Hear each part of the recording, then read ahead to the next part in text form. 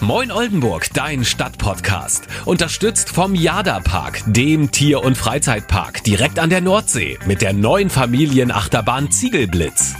Moin zusammen, schön, dass ihr da seid. Kann ich gleich mal ein bisschen Dampf ablassen? Ich habe mich heute schon zweimal so richtig geärgert. Kennt ihr das, wenn der Tag schon gleich blöd anfängt? Kennt jeder, glaube ich. Ne? Heute Morgen beim ersten Kaffee auf der Terrasse hat mich eine Taube angekackt. Äh, zum Glück nicht auf dem Kopf, sondern nur in Anführungszeichen auf der Schulter, aber hat mich schon maßlos aufgeregt. Dann bin ich reingegangen, hat sich der PC aufgehängt, konnte ich erstmal nicht arbeiten. Naja, danke, dass ich euch davon erzählen darf und meinem Ärger Luft machen darf und ein bisschen meckern darf. Das tut, äh, tut gut.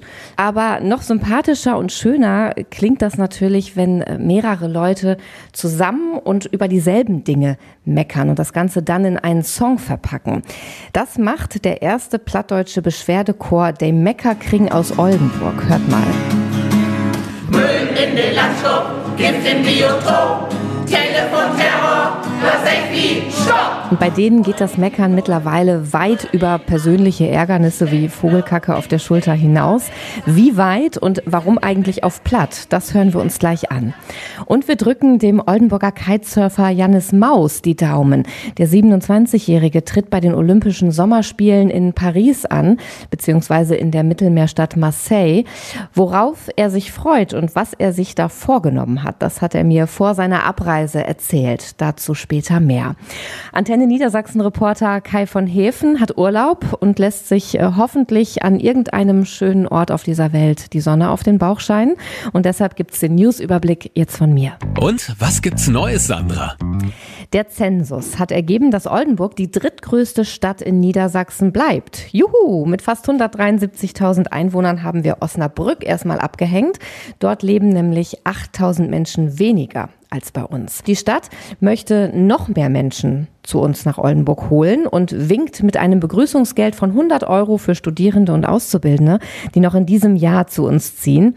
Voraussetzung dafür ist, dass sie an einer Oldenburger Hochschule eingeschrieben oder in einem Oldenburger Betrieb angestellt sind. Also erzählt das ruhig weiter, wenn ihr jemanden kennt, der diese Voraussetzungen erfüllt. Das Geld kann noch bis Ende des Jahres online bei der Stadt beantragt werden. Und dann habe ich noch gesehen, dass 95.000 Euro für den Oldenburg-Pass bereitgestellt werden. Hintergrund ist, dass möglichst viele Oldenburger in den Genuss von Kultur, Bildung und Sport kommen sollen. Aber viele können sich den Besuch im Museum, im Theater oder in einer Musikschule nicht leisten. Deshalb können einkommensschwache Bürger den Oldenburg-Pass beantragen, entweder online oder im Bürgerbüro Mitte am Pferdemarkt. Er kostet 5 Euro für Erwachsene und 2,50 Euro für Kinder und Jugendliche bis 14 Jahren. Und dann gibt es zum Beispiel Vergünstigungen auf Schwimmkurse oder Gutscheine für Bildung, Kultur und Sport. Und noch ein Tipp für die Abenteuerlustigen unter euch. Es gibt noch freie Termine für das City-Paddeln. Das ist eine Stadtrundfahrt mit dem Kanu. Klingt doch spannend, oder? Immer samstags und sonntags ab 15.30 Uhr könnt ihr euch Oldenburg von der Wasserseite aus ansehen, noch bis September. Die Tour dauert ungefähr zwei Stunden. Los geht's am Huntezufluss Haaren beim Oldenburgischen Staatstheater. Anmelden könnt ihr euch bei der Oldenburg Info am Lappern oder online. So, und jetzt hören wir uns mal an, wie herrlich Meckern klingen kann. Im Gemeindesaal St. Johannes, da probt der erste plattdeutsche Beschwerdechor De Meckerkring aus Oldenburg. Und da nehme ich euch jetzt mit. Müll in den Landschub, Gift im Biotop, Telefonterror, das echt wie Stopp! Hol nicht den Mund, rühr den Hand, steck bloß nicht den Kopf in Sand. Hier wird über alles gemeckert, was ätzend ist. Müll auf den Straßen, Ausländerhass, Telefonterror und vieles mehr. Das sind alles Dinge, die auf die Nerven gehen und über die es sich lohnt, lautstark zu meckern. Geleitet wird der Chor von Schauspielerin, Sängerin und Moderatorin Insina Lüschen. Und die Idee ist damals im Rahmen des Plattart Festivals entstanden, nach finnischem Vorbild. Denn da gibt es Menschen, die haben sich zusammengeschlossen, ihre Energie gebündelt sozusagen und aus dieser negativen negativen, destruktiven Meckerenergie etwas Künstlerisches und Produktives, Hoffnungsvolles gebastelt. Und das machen wir jetzt schon seit zehn Jahren. Und mittlerweile zählt der Chor stolze 25 Mitglieder. Und die kommen nicht nur aus Oldenburg, sondern aus dem ganzen Nordwesten. Oldenburg und umzu, wie man auch so schön sagt. Antje Köllmann, Elisabeth Hoppe und Hergen Garrels zum Beispiel sind schon lange dabei. Ich habe den Blatt in Zeitung lesen, so wegen neuen Nörden. Ich war noch in Ostfriesland und habe das gelesen und habe gedacht, Plattdeutsch und äh, politisch Stellung zu beziehen. Das ist das, was mich interessiert. Und in zehn Sekunden hatte ich mich angemeldet.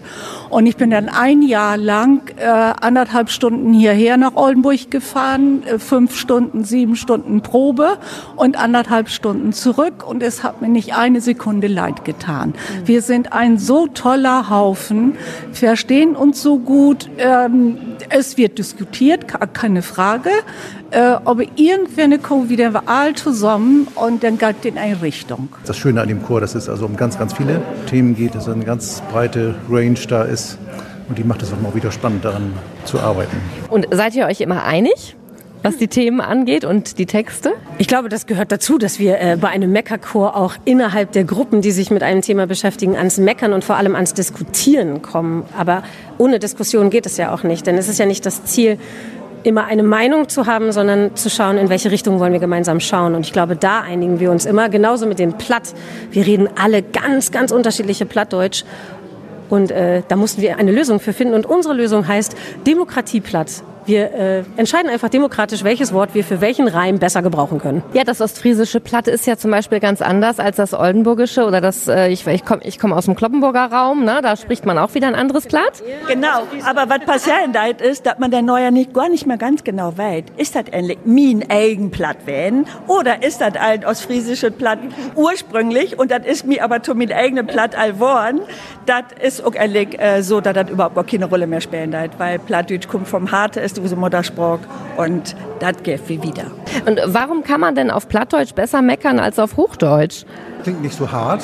Also ich, ich bin ja nur ein Platt-Sympathisant. Ich kann das immer nur so ein bisschen, äh, ich muss es verstehen können. Deswegen kommt mir das Demokratieplatt sehr entgegen. Aber insgesamt kann man es gut verstehen, aber es ist, wird nicht so hart ausgedrückt. Es gibt also viele Wörter, die das etwas sanfter vielleicht beschreiben.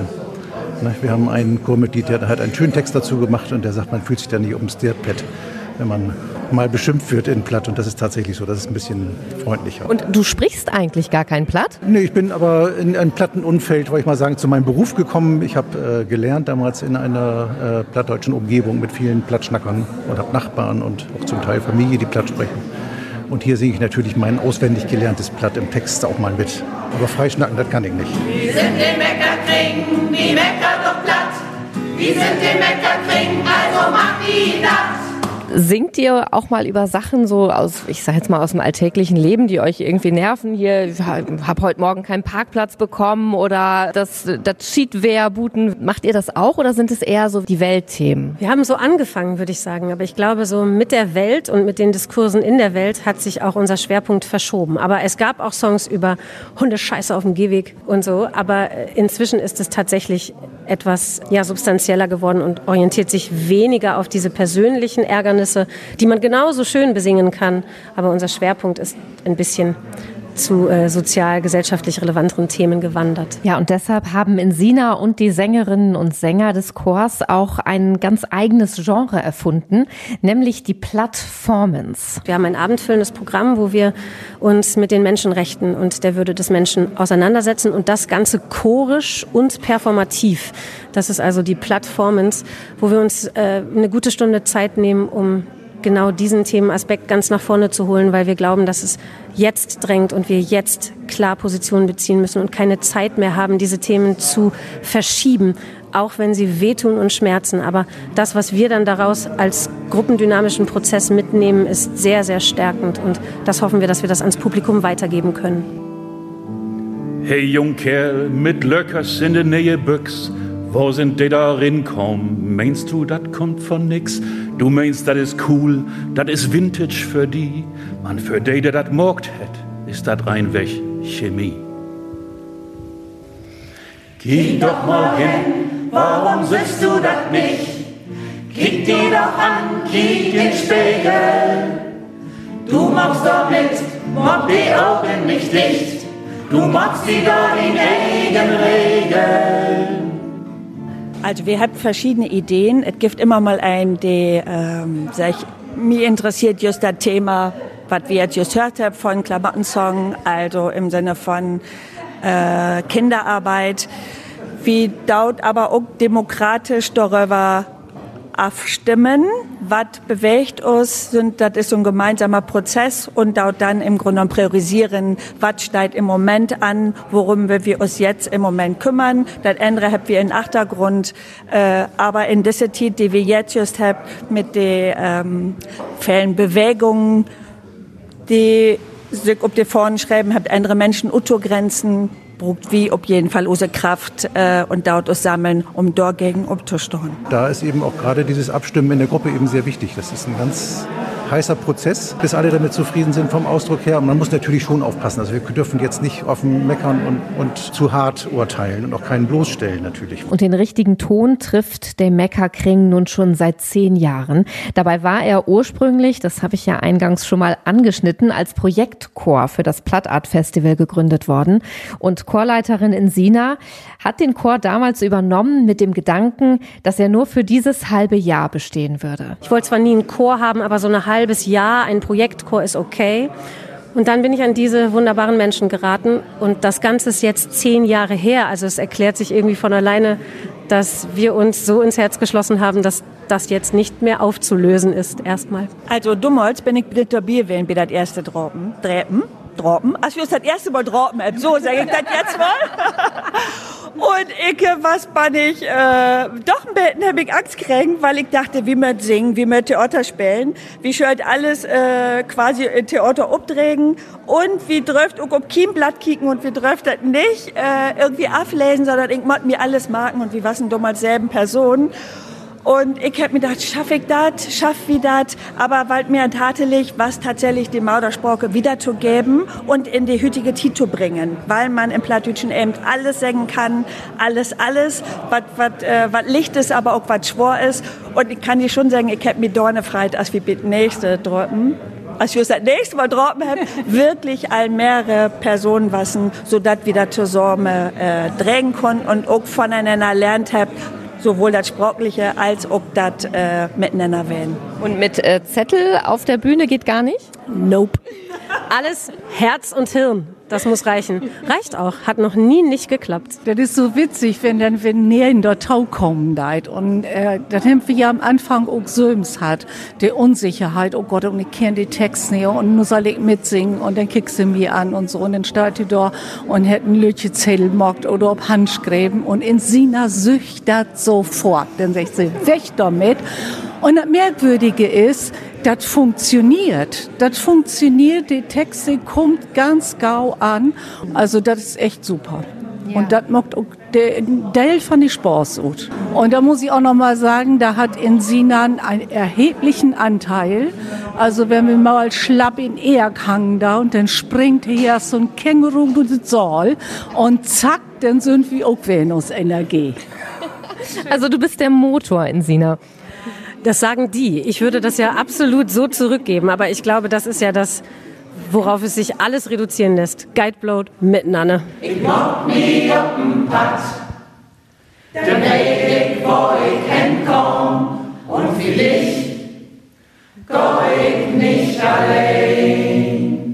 Und wenn ihr den ersten plattdeutschen Beschwerdechor der Meckerkring mal live und in Action erleben wollt, dann habt ihr Glück, denn der nächste Auftritt findet hier bei uns in Oldenburg statt am 19. Oktober um 19 Uhr im Chor in der Heiligen Geiststraße.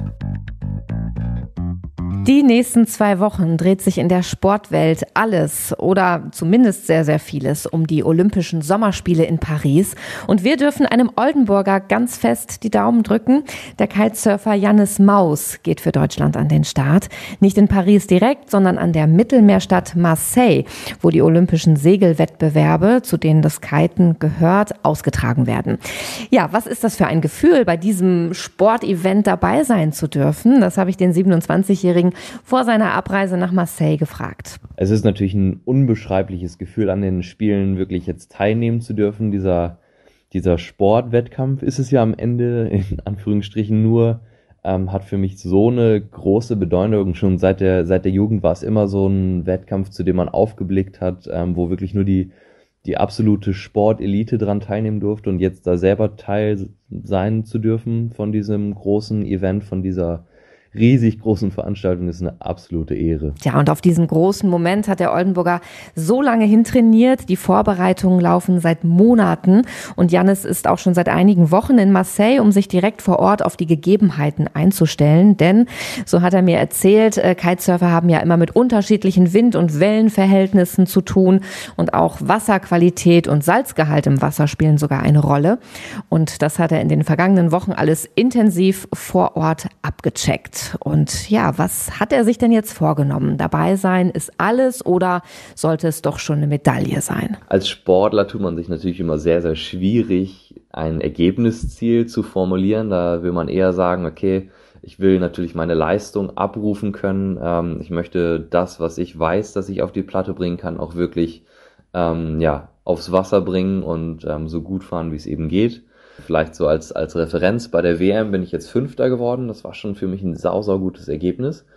Aber ins Finale, das ist das aller, allerletzte Rennen, wo auch die Medaillen entschieden werden, ins Finale kommen die besten vier. Und ähm, wenn ich das wirklich schaffe, in, die, in das Finale zu kommen, also unter die besten vier ähm, ins Finale einzuziehen, dann will ich auf jeden Fall eine Medaille. Das wollen wir auch. Der Oldenburger Kitesurfer Jannis Maus geht ab dem 4. August bei den Olympischen Spielen an den Start. Die Daumen sind gedrückt und an dieser Stelle gehen Grüße raus von Oldenburg nach Marseille. Ihr erinnert euch vielleicht noch an Katrin Kroppach von der DICO. Das ist die Demenz-Informations- und Koordinationsstelle Oldenburg. Katrin hatte uns hier im Podcast die Demenz-App Oldenburg vorgestellt. Eine App, die Menschen mit Demenz und deren Angehörigen das Leben leichter machen und ihnen ermöglichen soll, sich besser zu vernetzen. Und Katrin hat mich jetzt vor kurzem nochmal angeschrieben mit der Bitte, auf ihren neuen Podcast Sag mal schnell hinzuweisen. Das mache ich hiermit sehr gerne, liebe Katrin. Der Podcast äh, zeigt den Alltag von Menschen mit Demenz mit all seinen Herausforderungen. Katrin spricht dort mit Claudia. Sie ist Anfang 60 und an Demenz erkrankt und mit deren Ehemann Axel über den Umgang mit der Diagnose, Reaktionen aus dem Umfeld, Hilfsangebote und die allgemeine Bewältigung des Alltags. Also wenn euch das Thema interessiert oder ihr in welcher Form auch immer selbst betroffen seid, dann hört da gerne mal rein. Den Podcast Sag mal schnell findet ihr bei Spotify. Und euch, Katrin, Claudia und Axel, wünsche ich gutes Gelingen und ganz viel Glück. Ihr Lieben, wenn ihr mir schreiben möchtet, zwecks Anregungen, Kritik oder Ideen, dann macht das gerne unter oldenburg.dein-stadtpodcast.de. Ich freue mich auf eure Nachrichten. Bis bald, eure Sandra. Moin Oldenburg, dein Stadtpodcast. Unterstützt vom Jada Park. Jetzt mit der neuen Familienachterbahn Ziegelblitz. Tickets und weitere Infos unter jadapark.de.